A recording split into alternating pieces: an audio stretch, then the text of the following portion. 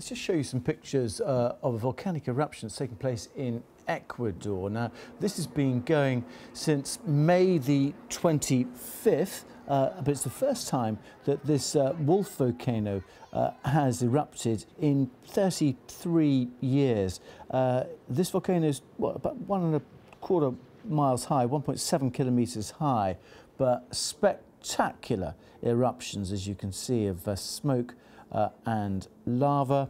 And uh, these are the pictures uh, that just show you quite how ferocious and potent uh, these volcanoes uh, can be.